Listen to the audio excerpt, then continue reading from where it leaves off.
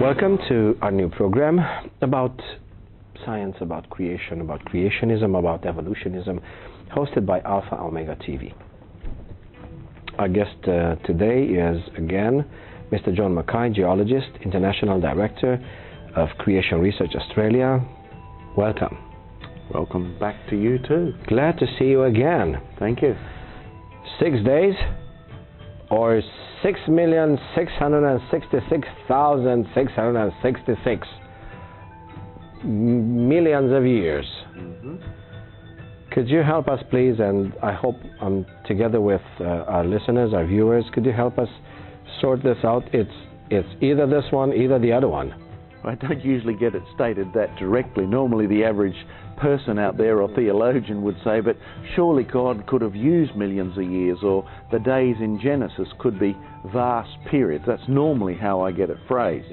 Um, that's what you're getting at in the end. Now, why do people have a problem?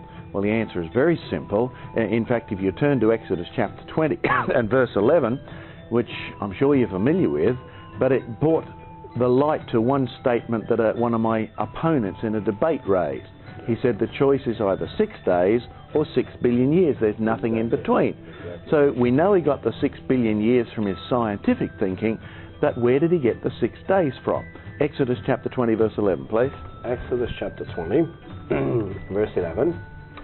For in six days the Lord made heaven and earth, the sea, and all that is and all that in them is, and the rest of the seventh day for the Lord blessed the seventh day and hallowed it. Okay, so that's where he got the six days from. Yes, exactly. So the six days are in the Ten Commandments. They're also in Genesis chapter 1. Now, from your knowledge, going to a college, a Bible college, a mm-hmm. theological college, who did God give the Ten Commandments to? To Moses. Okay, so in the writings of Moses, we read about six days of creation. Now, it was a bit of a surprise to me when I had to give a lecture at Cambridge University in England a couple of years back, um, and I'd also debated Dr. Trevor Emmett from Cambridge, a geologist there, and uh, I found it very interesting as I dug out the original books on geology to discover something fascinating.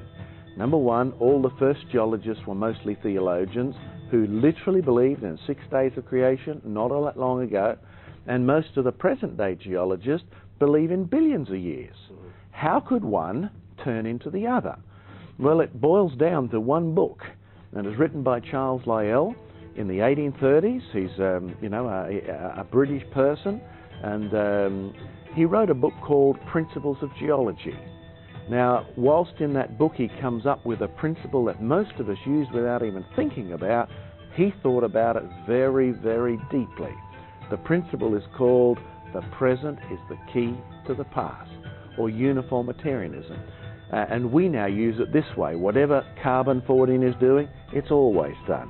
Whatever uranium is doing, it's always done. Whatever light is doing, it's always done. Now, sounds so obvious to us, and yet Charles Lyell had to write a book about it which changed the whole way geologists thought. Now, nothing radical there, but what was radical was that I managed to get a hold of the letters that Charles Lyell had written and his sister published two years after his death. Unfortunately, they're in the reprints of some of the new editions of the, um, his Principles of Geology. Quote unquote, what was his aim? To free science from Moses. How could a book on geology get rid of Moses? Remember, we read from Moses in six days God created the heavens and the earth? Why would his principle, the present is the key to the past, do that? Why would it result in a world where we have six billions of years in most people's heads and they know the Bible's got a story about six days of creation even if they don't know much else about the Bible? Well, it turns out to be very simple. You're a theologian, correct? Yes, I do. Okay. You're not an astronomer, you're not a physicist? Nope. You're not a biologist or a geologist? No. Okay. Tell me from your memory, the world described in Genesis, what's it like? Is it the same as now? No, it's not. What was different? Uh, well, that world was very good. Uh huh. Did the roses have thorns? No, it, they didn't. They didn't. Uh, could you die of anything? Nope. There was no disease, Nope. no sickness. Nope. Ah, it was a different world. Very different. Ah, is the present therefore the key to the past? No, it's not. Ah, in Genesis, do we read about rain coming? Uh, no. But when did rain come then?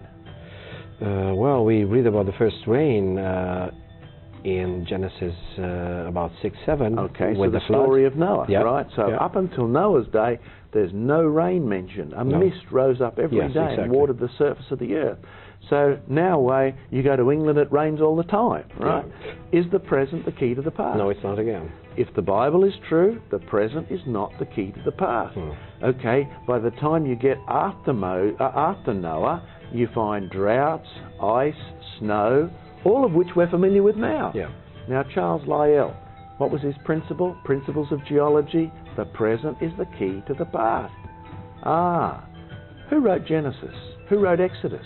Moses. Moses. What was Charles Lyell's aim? To get rid of Moses from science, quote unquote. Right? Now, I wish they would have told me that when I majored in geology at university. I wish I would have known that when I used to lecture in geology for the government in Australia, because it would have told me one thing. All of these millions and millions of years are not the result of the evidence. They're the result of the set of glasses that Mr. Lyell gave us through which we see the evidence. So when you look at the world and you say, oh, it looks very old, well, you haven't been alive for 2,000 years. You don't even know what 2,000 years old looks like. You haven't been alive for 6 billion years. So therefore, you're looking through a set of glasses. But Charles Lyell was very subtle. He didn't bother to openly attack Christianity because it was too popular. All he did was substitute a different history for it. Want to get rid of Moses? Get rid of his key principle. The present is not the key to the past. How do you change that? The present is the key to the past. So therefore, we live in a world in which you look around and say, well, dirt is forming so slowly as the mountains erode, so you have 30 metres of dirt, must be millions of years. And stalactites are forming so slowly in the caves. Wow, the world must be very old indeed. And the Bible says, uh-uh. When God made it, it had the best covering of dirt it's ever had right? So therefore, the first dirt didn't come as a result of rock slowly decomposing at all. You have a world in which one moment there was no uranium, next moment there was. How dare you say that uranium has been doing its thing all the way back? No, there was once a time when uranium wasn't doing anything because there wasn't any uranium. So there's the basic reason for the conflict. Now, for those who want to think it through, um, you need to go one, one step further. The God of the Bible told Moses he made it in just six days. No doubt you read about in Genesis chapter 1 on the first day God made the heavens and the earth and the light, etc. And the second day and the third day and the fourth and the sixth day he made man. The seventh day he rested. So Exodus 20 is a summary of what you read in Genesis. And both of them have Moses uh, as the commonly regarded author of those, those books. All right, now I've had many Christians, even some learned theologians, say, couldn't those days be long periods of time? And when they say that, guess who they insult? They don't mean to, but guess who they're really criticizing? Who made the world?